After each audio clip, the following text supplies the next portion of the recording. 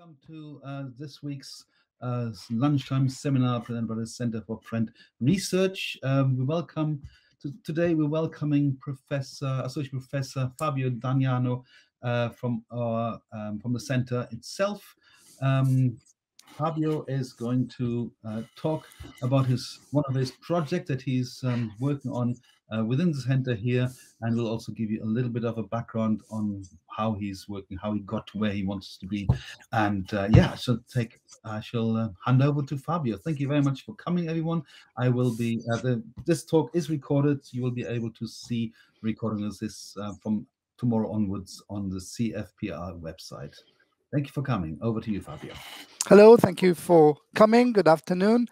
I uh, wonder if there are um, people with visual impairment uh, among the audience. In that case, please tell me. I will try to describe the images uh, while I'm sharing my screen. Uh, if not, I will just um, leave it as is.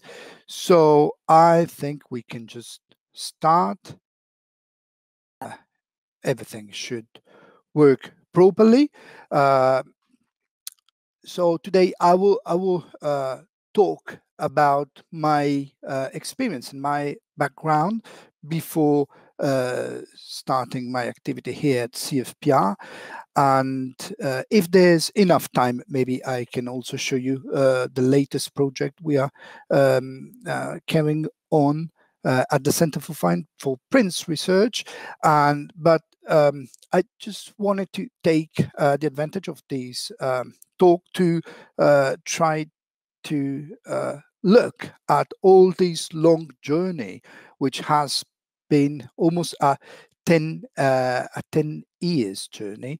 And I, I, would like to to roll back uh, to to see with you everything from the first prototype until the last, which is never the last uh, prototype, to to talk to you about the failures and the good uh, moments and uh, the sense of it. Because since the very beginning, there were some core questions like: Is it fair that uh, visually impaired um, people are in some way excluded by uh, common experience such as visiting a museum or could um, a blind person being uh, interested in exploring something that it can't really fully uh, experience or which has been made for someone else how can we translate uh, things that are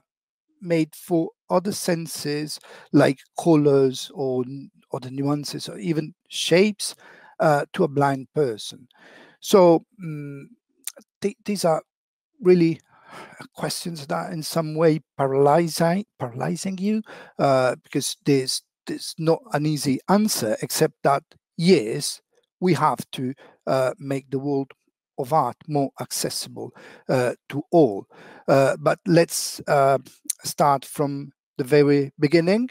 Uh, it was um, 2012, and I was supervising an interesting um, thesis, a master course thesis, and the idea was how can we use 3D printing? 3D printing was really uh, uh, a recent uh, technology in 2012, and also electronic prototyping to transfer architecture to a, a blind uh, person and um, Serena, which was one of my students, combined the two things together: electronic prototype, prototyping and 3D printing. And the idea was to have a, a talking model, something that you could just touch and have an audio feedback when you were touching the object. So my first, I, I didn't know anything about that topic, really anything.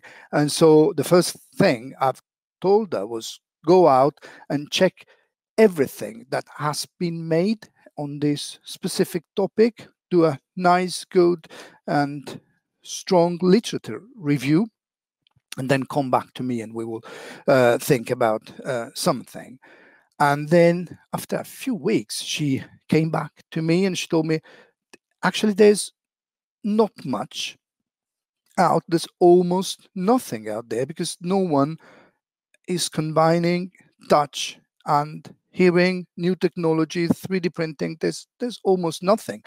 So uh, my answer was, well, let let's do it. Let let's just start a new company and let's do it. So my student and I, we launched a startup, a new company, and the aim was exactly to build some prototypes for um, for uh, the blind, basically use new technologies for the blind. And we presented the idea at the Maker Faire in 2013 in Rome, and this had a good success, a good traction, uh, feedback on on the net, on the web, and we even that year we won some prizes here and there, even some money, and we were spending time developing something uh, that for us was a good idea, great idea, but we haven't at that moment contacted any uh, anyone from the blind community. So if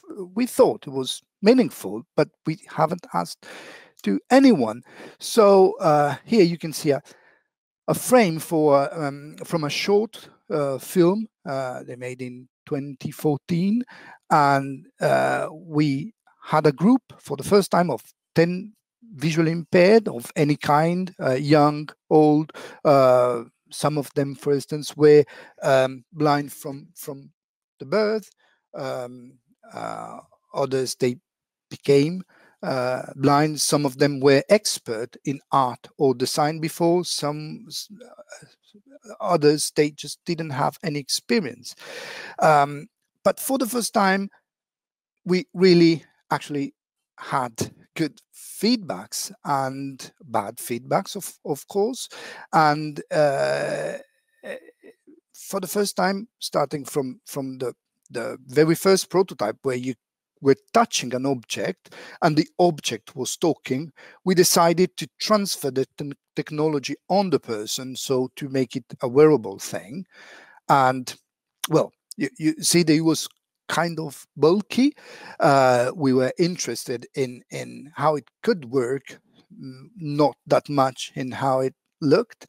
And uh, but again, for the first time, we had someone who used our technology and who had something to say.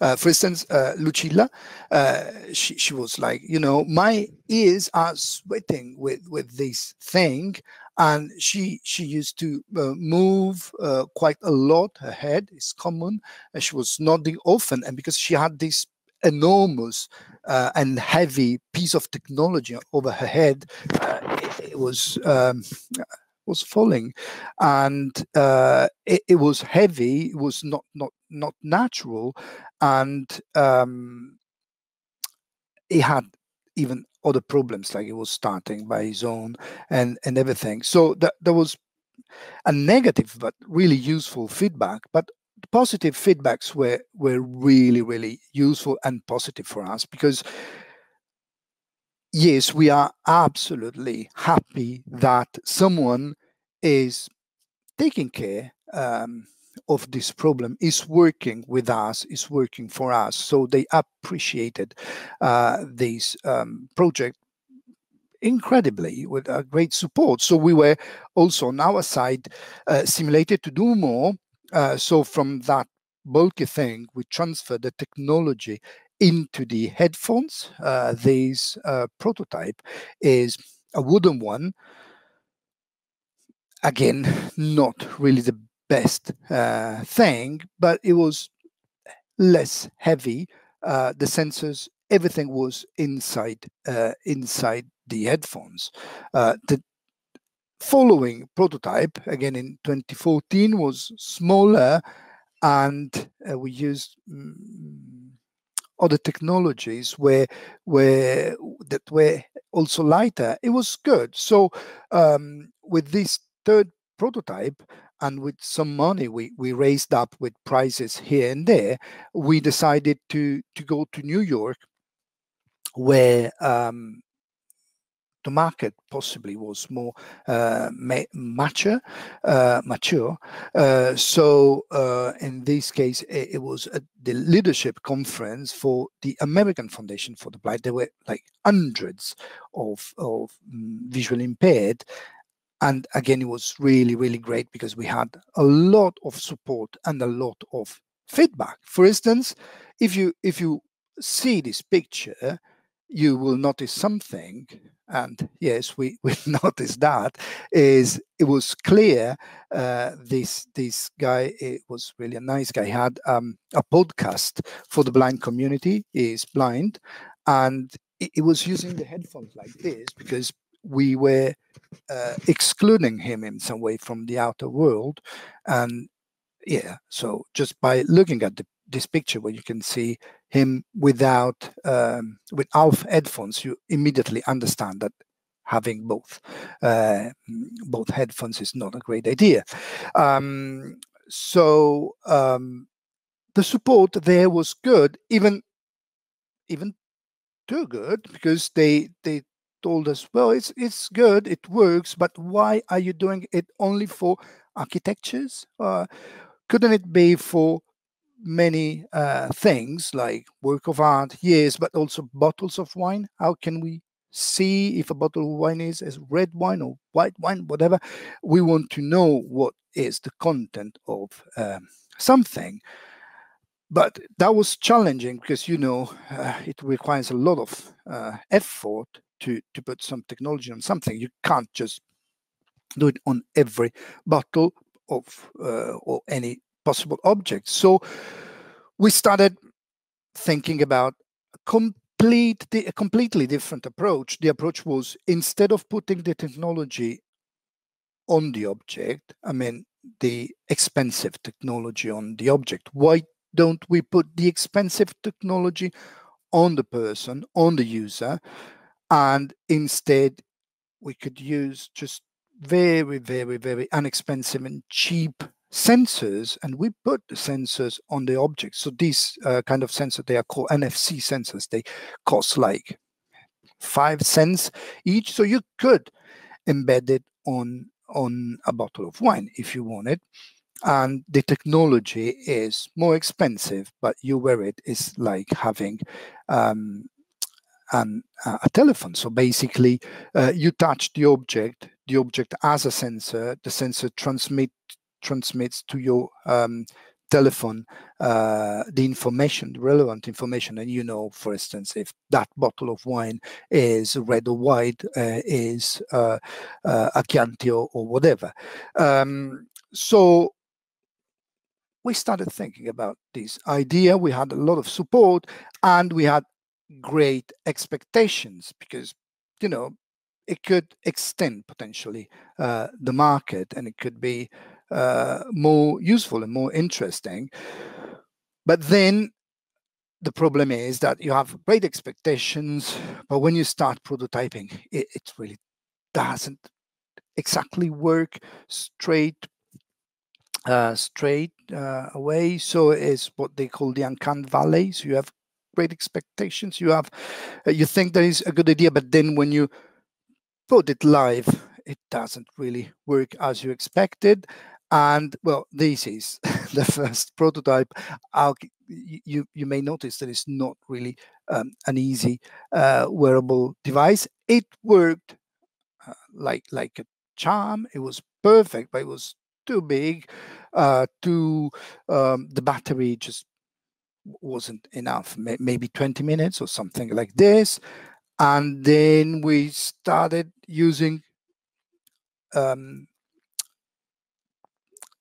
uh, boards that are standard boards, but they are smaller. This one is called Xadow, is made by a company called Seeed Studio. It's modular, it's cheap, was for the first time something that was almost there. And then we switched to bespoke uh, electronics because we couldn't anymore use um, standard prototyping boards. We had to design and develop uh, the things by our own. It was less than a small company, so it wasn't easy to do it, but well, we tried uh, to do it, and already in the first years, um, we managed to to go from that thing that is has the size possibly of a melon uh, or a watermelon even over your head and the the size of, of the other one was between a cherry and and, and a small apricot. So it was uh, a, a, good a good um, improvement. Uh, so uh, then we contacted a company uh, that made uh, silicon molding and we started producing the first ring that looked like more or less professional. So we went to the uh, Milan Institute for the Blind, where they had already nice 3D, uh, 2D and half uh, prints that they used with with students, and uh, we we started embedding uh, some sensors on it, and here you can see uh, the ring is quite small and it was working. So we mm, we had then the interest from uh, other companies from the startup world from investor we were starting winning prizes we were starting winning grants and we also had some commission jobs so we had money and we invested every penny on trying to develop it further. So, uh, frankly speaking, we uh, it was a kind of no, a real no profit company because everything we we we got, and we we we managed to find some money, uh, was completely reinvested. And this, for instance, is the first time where we uh, went public. That was uh, 2017. Uh, this is the Ara Museum in Rome. It's a big museum. It's an interesting place. Has been made by a great architect. Is normally full of tourists because you you have um, pieces from the ancient Rome. So it has tons of of visitors. And in this occasion, we uh, met Deborah, Deborah Tramentozzi. You, you see her in the picture. Uh, and Deborah is a young well was a young girl uh, now is a young lady let's say and, and she she was born without sight so she was completely blind she is completely blind uh, from the very uh, beginning. Nevertheless she's passionate about art. She now has a, a degree in history of art and and for the first time we had a real a true ambassador because she you know she she gave a sense she gave a meaning to everything we we, we were doing because she um, when i was going to a museum saying you know it's it's meaningful to um, to to have more accessibility they always told me yes yes you're right absolutely. It's not our priority but yes yeah you're right. And then we will call you. And that was quite hard. When deborah was with us it was completely different. She she just said simply as it is, why can't I visit this museum? Why do you think that I am not allowed to to get into this place just because I'm blind? Do you think that is fair? Do you think that is right? And that really changed um, the way you know we were approaching uh, people, and also she made me um, see things that I didn't understand or haven't seen just my uh, eyes. So she uh, became, uh, yeah, kind of really an ambassador. And this is uh, Deborah at the TED um, TED edition in Rome. I was there, were like I think three thousand people, and when she um, ended a talk, there was a, an an enormous standing ovation. Everyone was really even crying how, how strong it was um, um, talk and uh, intervention. And uh, basically, she's fond of art. She can just by touching things, uh, she can understand a lot of things. And again, that was a, a great motivation for us. And so we improved uh, improved the uh, ring. So right now you, you you can see some renderings or, or uh, the latest or almost uh, the latest uh, ring. Um, in this case, it's just digital images uh, or 3D renderings, which are absolutely important because we couldn't print everything and you know print test, print test, print test. We had to simulate things. We had to uh, try to do things as small as possible, and and and rendering uh, renderings are really crucial while you are uh, prototyping. This is the printed version of the almost the last ring and this is the ring printed with another printer with another technology but you can see that it's starting looking I wouldn't say professional, but it's less prototype and more and more uh, an object. Um, so because we had this, we started also being more popular. We won uh, other prizes. This one is um, is the National uh, Innovation Award in Italy. So uh, people were starting, uh, you know, being interested at that thing. Uh, this is in um, Istanbul, where we won uh, the, the, the first prize of the Teknofest, and normally they asked to move to Istanbul. We didn't accept it, but uh, it started rolling.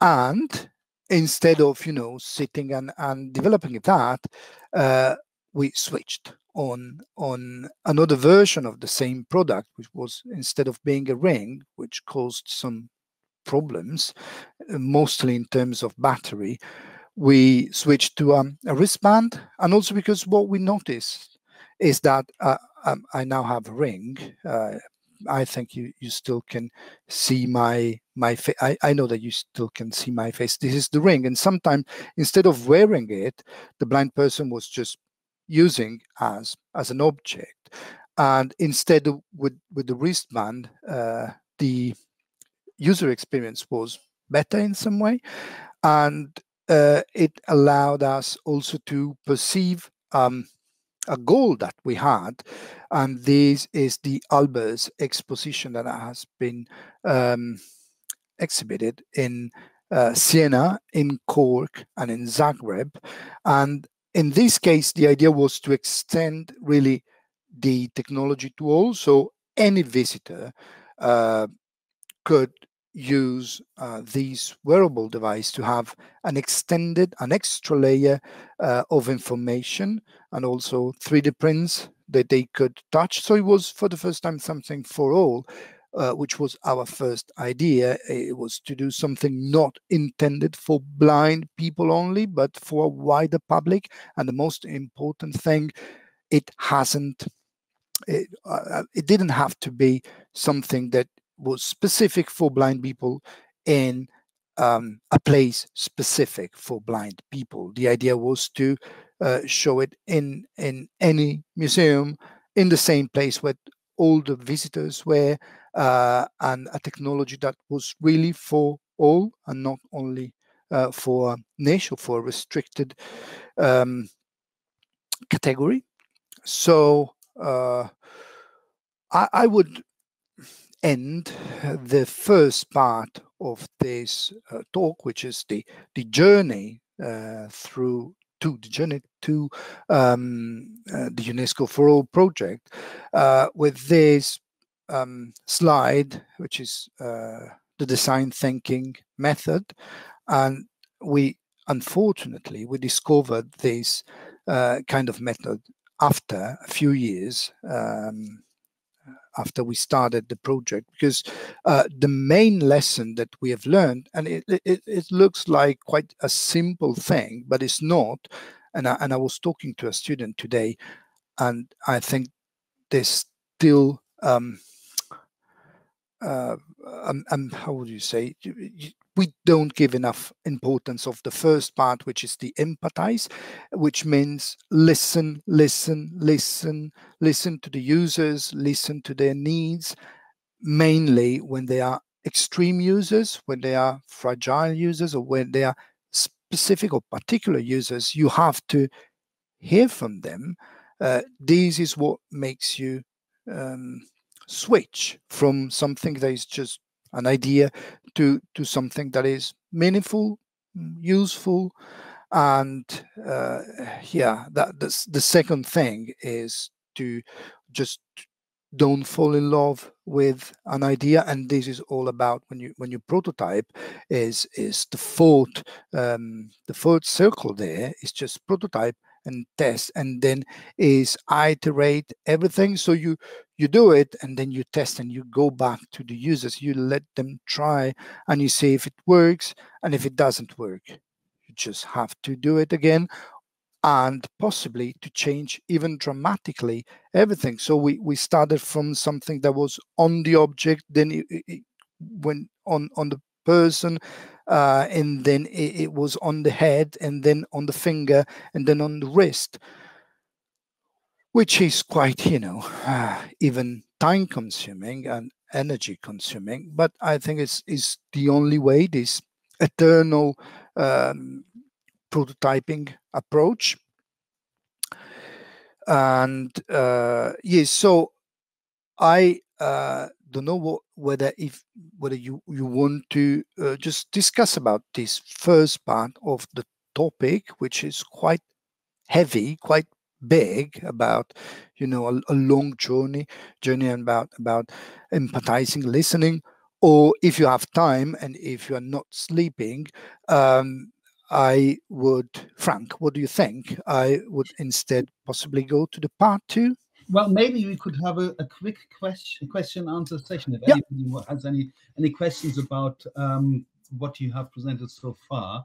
And uh, because I have a question, I'm, I'm really interested in the testing, especially on this slide there, the uh, and the feedback loop that the user, how does a user um, uh, feedback uh, about the um, the whole process? Is it literally just a question? Yes, I can use it. It mm. works for me. Or how how how how else is the feedback recorded or interpreted? yeah. Well, the first thing you have to to keep in mind is that if you make some questions, normally you push the answer. Like do you think that this is useful? And yes it's useful. No one will tell you no it's not useful. So you have to formulate you have to build the questions in a way that is not pushing uh, towards a specific answer. And even if you start from scratch you should shouldn't even start thinking about the idea before having a feedback. So the idea is a consequence of a definition of a user of a specific problem and it's not something that you build and then you want to validate. So that's the first thing. Then i've noticed it i've noticed that well with blind people is easier uh, unfortunately i would say to watch them closely without being too invasive you know because if you're doing something and i'm staring at you frank you will be you know why are you looking at me? But by watching closely how the people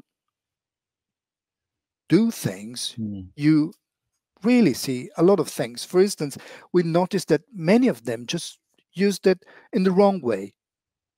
So when you see that everyone is using in the wrong way possibly your way is wrong so you have to flip it because it's better on the opposite side. Or when you see someone that is doing like this, it means that it's not a good idea to cover the ears. So you, even if it's not telling you explicitly, uh, verbally something, you will notice many things that you you wouldn't and you couldn't just with digital forms or with with paper. So you have to test with them.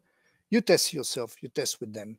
You watch you see, you react, hmm, you change, you test again.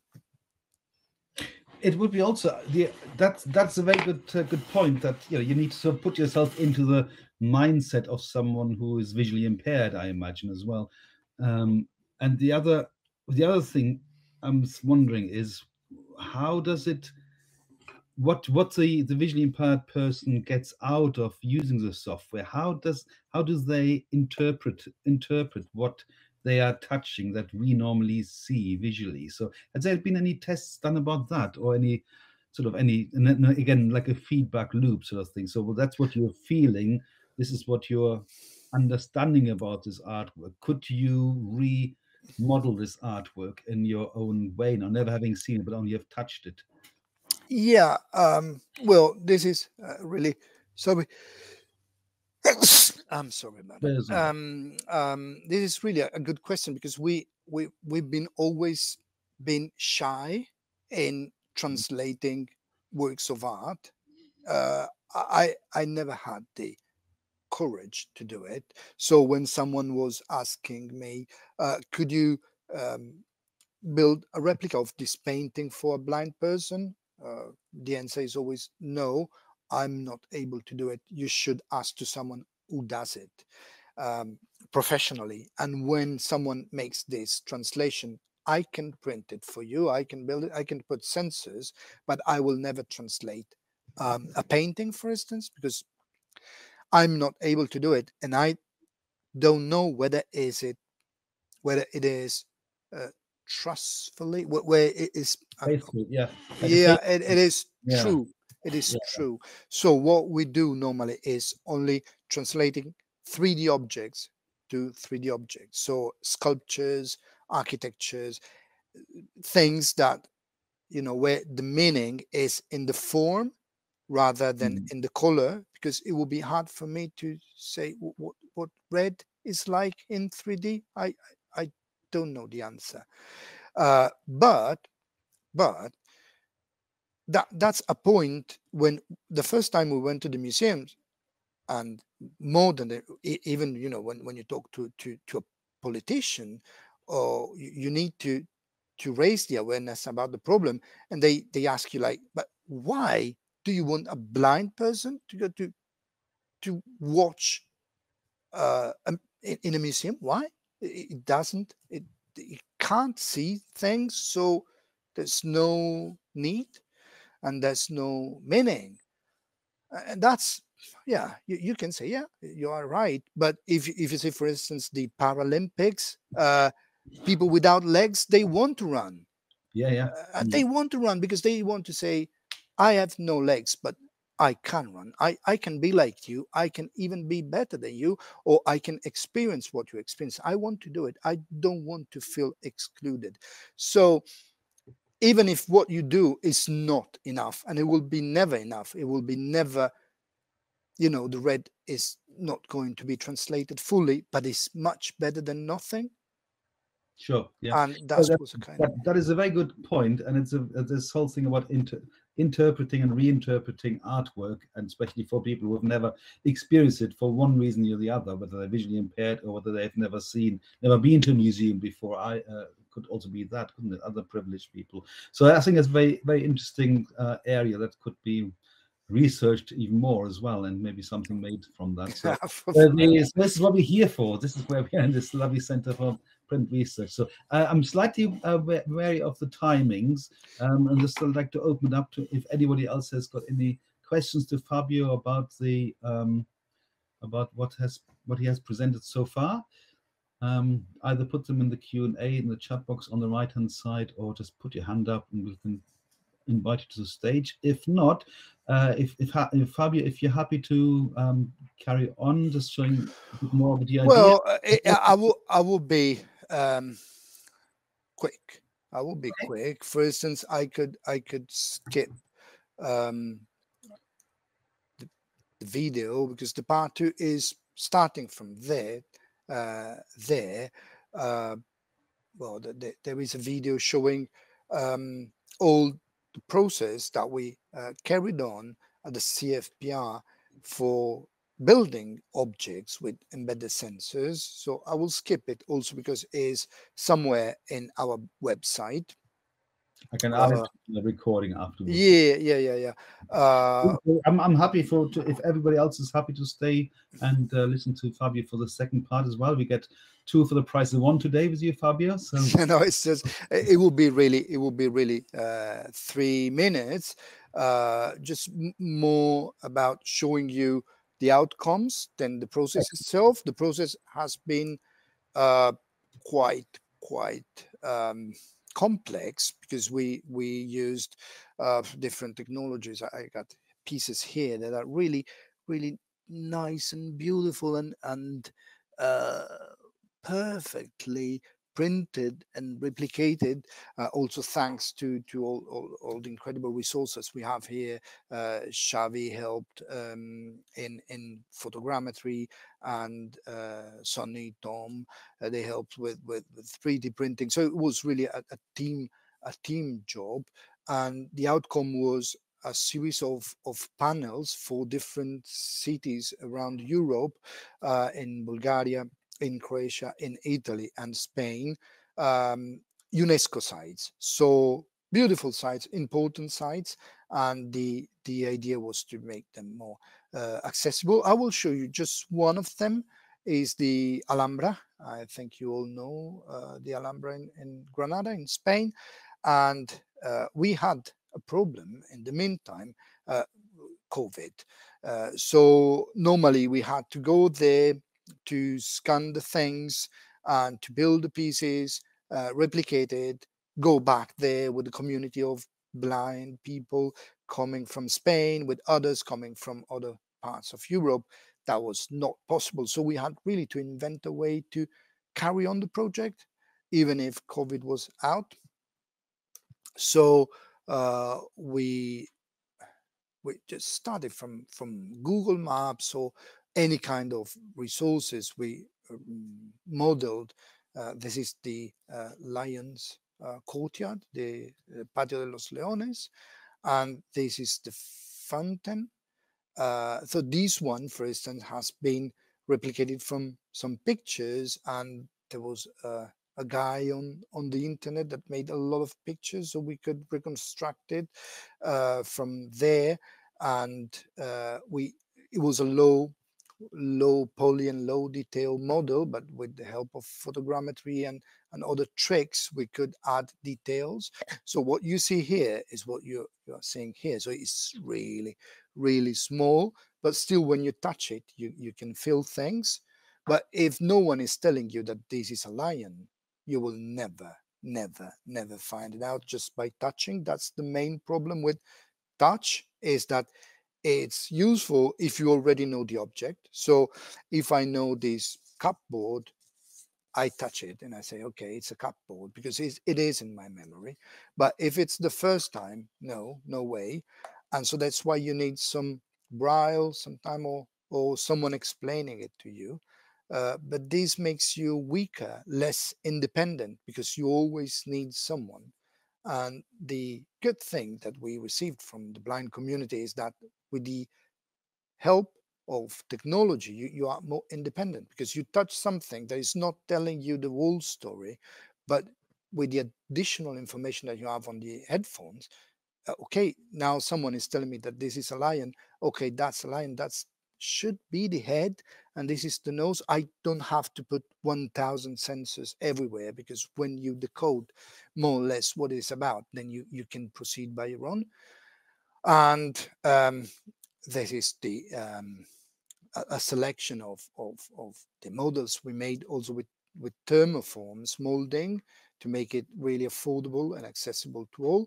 And uh, the last one i'm really cutting it short because i'm aware of timing but in any case people could go in the real place and experience um, that's in, in granada as you may see and, and a selection of blind users, they were able to be in the right place, in front of the right thing, to touch the replica, to uh, listen to contents, and to have an idea, have an experience of the thing there in the right place with other people sharing a different experience, but in some way a common ground they could have a discussion about it. I could, have, like I did with Deborah, I could talk with Deborah about things she touches and I see, and we have things to discuss about, which is the great thing about about you know accessibility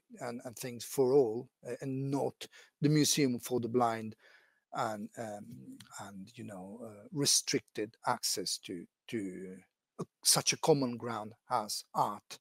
So I'm, uh, I would end now. Uh, absolutely open to to uh, chat, to questions, everything you want, anything.